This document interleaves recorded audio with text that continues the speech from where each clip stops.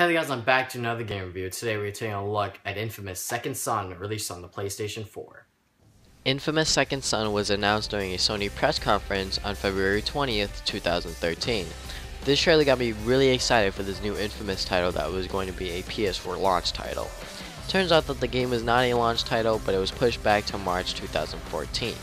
Sucker Punch Productions was actually planning to go and make this game since 2010. Sony allowed them to go and develop a new Infamous game for the PS4 as long as Sucker Punch gave Sony feedback on the hardware evolutions they would like to go and see on the PS4. Second Son takes place 7 years after the events of Infamous 2. The RFI explosion should have killed all of the conduits, but a few of them survived. This organization named the Department of Unified Protection, or the DUP, was formed because they feared the abilities these conduits had. They also renamed these conduits as bioterrorists. The DUP forced many conduits into hiding because of this. Delsin Rowe is the new character you'll be controlling this time around, and he's very sarcastic. I personally knew that I was going to like his character from the start of the game. Delsin finds himself as a sort of conduit sponge, meaning that when he comes in contact with another conduit, he learns their backstory along with their ability. Delsin finds who the director of the DUP is, Augustine, who is the main antagonist this time around, and she's a very hateful character. She came off as a jerk when I first met her, and really, I think that's what they were aiming for. Delsin doesn't really like what Augustine is doing with these conduits, and he wants to go and put a stop to it. There is a little bit more to the story than that, but I don't exactly want to give too much away since Infamous is really revolved around the story. Now, since I played this game two times around, you know, once good, once bad, the story is overall pretty good, I think. It's not anything, you know, amazing, it won't exactly blow your mind, but I think it does get the job done. The ending for both sides is also really interesting. I really like the good ending, it had me really satisfied on everything I accomplished.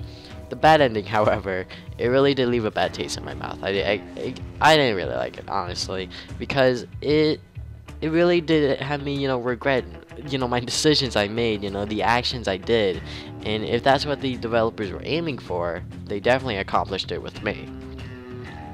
Also, Troy Baker, you are great and on everything you do, honestly, because he had a lot of hype behind him for this game, and since he already played Booker DeWitt, you know, Joel from The Last of Us, and the Joker from Arkham Origins, just to go and name a few roles he already played within the previous year.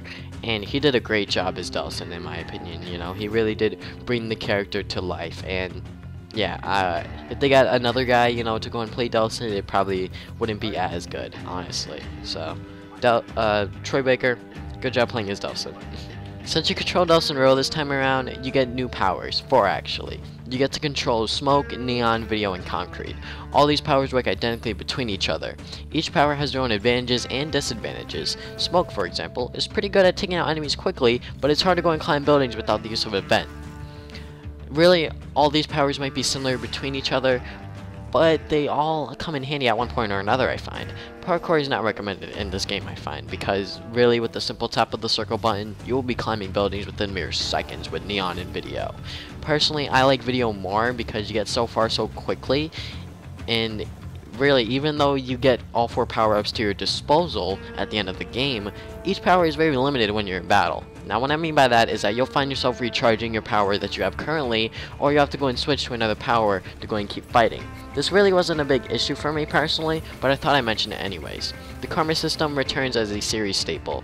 Whichever side you choose, good or bad, your goal is to go and stop Augustine still.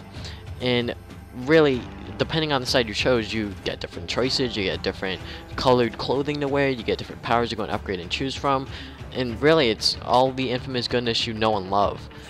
A small pet peeve I have with the new karma system is that by the end of the game when I was good, I wasn't 100% good or a true hero, which sucks because in previous Infamous games, you are 100% good by the end of the game. With playing as the bad side, I actually found myself being 100% bad by the end of the game, which is probably because doing bad things is a lot easier than doing good things, so I think that's it. The super ability from Infamous 2 makes a return in Second Son, and, and, it's a lot more flashy. It's a lot better, I find. Smoke, you jump in the air, and you come back down and cause a big explosion. Like, that is freaking awesome. In order to go and do the super move, however, you need to get 7 good slash bad things, depending on the karma side you chose. doing the good side is a lot harder because doing seven good things in combat is a lot harder than doing seven bad things. So, yeah. Also, there is a imaginary time limit on how long it will take you to go and do these seven good slash bad things in order to go, to go and get the super move, and how long you could actually hold on to the super move once you get those seven. Like, I remember this one time I had like four good things done, and then like all of a sudden, like it was gone. I was like, what happened? Like, I don't even know what was going on, honestly, until I realized there was a imaginary time limit on how long it will take you to go and do these seven good things and seven bad things in order to go and get the superpower. When I play Infamous games, I tend to like the good side more than the bad side, but I think this time around I like the journey through the bad side more. I think it's because I get the super move a lot more often when I was the bad guy, and side missions in this game range from making graffiti, finding a hidden camera, or shutting down a DUP center. These side missions will award you more karma along with more blast to go and collect. Yes, blast do make a return, and they act as upgrade points for your powers. And you can go and shoot your powers without aiming for the first time within the series itself, which really I didn't notice until like I was doing this review. With the power of the DualShock 4 now, you will shoot with the L2 and R2 button and drain using the touchpad. Throughout the game, you will find prompts using the touchpad to go and open gates or destroy DUP trucks or something like that. I honestly don't mind the touchpad functionality since it really didn't get in the way. Some complain that the side missions get repetitive, which I could see why if you're doing multiple side missions at a time. The camera within the game didn't become a huge problem until the final boss. The amount of times I got screwed over by that camera and I had to restart from the last checkpoint was really aggravating. A sigh of relief was when I finally finished the final boss, and that was amazing.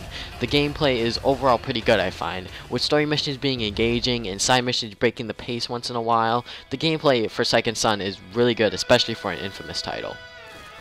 Second Son is probably the best looking PS4 game right now. It's running at 1080p, 30 frames per second, and the game looks stellar. Only if the game ran at 60 frames per second, this game would really, really look amazing. I did get the occasional frame drop here and there, especially when there was a lot going on, exploring this amazing world of Seattle, this really pretty, gorgeous world.